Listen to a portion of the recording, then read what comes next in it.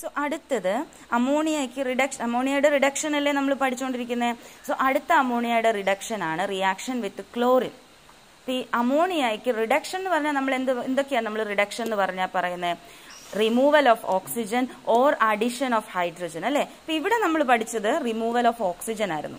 ഇനി ക്ലോറിനുമായിട്ടുള്ള റിഡക്ഷൻ എന്ന് പറഞ്ഞാൽ അഡിഷൻ ഓഫ് ഹൈഡ്രജൻ ആണ്. അതായത് ക്ലോറിനെ അമോണിയ എന്താക്കി മാറ്റും? ഹൈഡ്രജനും കൂടെ ക്ലോറിന്റെ കൂടെ വന്നാൽ അതെന്താകുന്നത് H C L hydrogen chloride ആക്കി മാറ്റും. ഓക്കെ സോ അത് രണ്ടെണ്ണം ഉണ്ട്.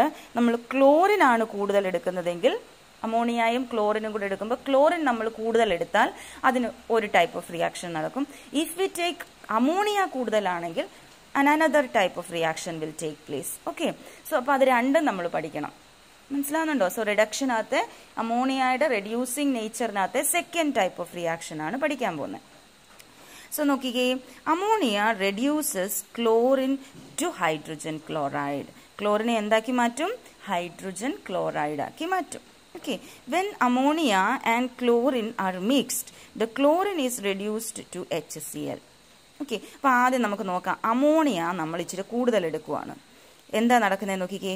അമോണിയ എയ്റ്റ് എൻ എച്ച് ത്രീയും ത്രീ സി എൽ ടു അപ്പൊ നമുക്ക് കിട്ടുന്നത് എൻ എച്ച് ഫോർ സി എല്ലും എൻ ടുവും കിട്ടും.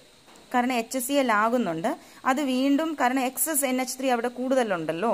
അപ്പൊ അത് വീണ്ടും ആ എച്ച് സി എൽ എന്ന് വെച്ചാൽ ആദ്യമേ തന്നെ എൻ എച്ച് ത്രീയും സി എൽ ടുവും കൂടെ ജോയിൻ ചെയ്ത് നമുക്ക് എച്ച് സി എല്ലും എൻ ടുവുമാണ് കിട്ടുന്നത് പക്ഷെ നമ്മളുടെ കയ്യിൽ അമോണിയ എക്സസ് ആയിട്ട് നിൽക്കുന്നത് കാരണം ആ ഉണ്ടാകുന്ന എച്ച് സി എൽ അന്നേരം തന്നെ അമോണിയയുമായിട്ട് എക്സസ് ആയിട്ട് നിൽക്കുന്ന അമോണിയയുമായിട്ട് ജോയിൻ ചെയ്ത് എന്തായിട്ട് അങ്ങ് മാറും? അമോണിയം ക്ലോറൈഡ് ആയിട്ട് മാറും. മനസ്സിലാവുന്നുണ്ടോ? അപ്പൊ ലാസ്റ്റ് ഫൈനലി നമുക്ക് കിട്ടുന്ന പ്രോഡക്റ്റ് എന്ന് പറയുന്നത് എന്തായിരിക്കും? എൻ എച്ച് ഫോർ സി എല്ലും എൻ ടുവും ആയിരിക്കും കിട്ടുന്നത് മനസ്സിലാവുന്നുണ്ടോ? ആദ്യം പക്ഷെ എച്ച് എസ് സി എൽ അവിടെ ഉണ്ടാവുന്നുണ്ട്. പക്ഷെ നമ്മൾ എക്സസ് എൻ എച്ച് ത്രീ എടുത്തുപോയി അപ്പോൾ ആ കൂടുതലായിട്ട് കിടക്കുന്നതുമായിട്ട് അങ്ങ് ജോയിൻ ചെയ്യത്തില്ലേ? അപ്പോൾ നമുക്ക് N H four C L കിട്ടും. അപ്പോൾ ആ ഇക്വേഷൻ നോക്കിക്കേ. ഇപ്പം നമ്മൾ എത്ര എൻ എച്ച് ത്രീ ആണ് എടുത്തിരിക്കുന്നത്? We took eight N H three plus three C L two എന്താ നമുക്ക് പ്രോഡക്റ്റ് കിട്ടുന്നത്? Six N H four C L plus N two so this is the final product കേട്ടോ.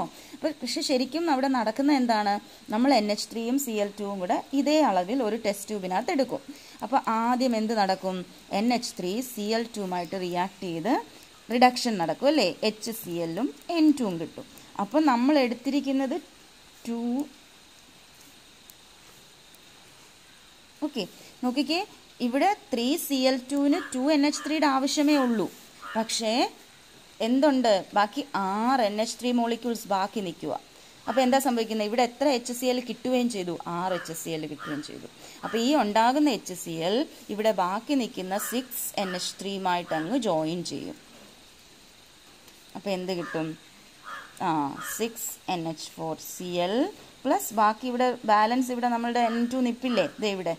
ആ എൻ ടു റിയാക്ഷൻ ഒന്നും നടക്കാത്ത കാരണം ഫൈനൽ സോ അങ്ങനെയാണ് ഈ റിയാക്ഷൻ നടക്കുന്നത്. Either you can study this two step equation or this one step equation but one step പഠിച്ചാൽ മതി. പക്ഷെ എന്താ അവിടെ നടക്കുന്നതെന്ന് നിങ്ങൾക്ക് മനസ്സിലാകണം.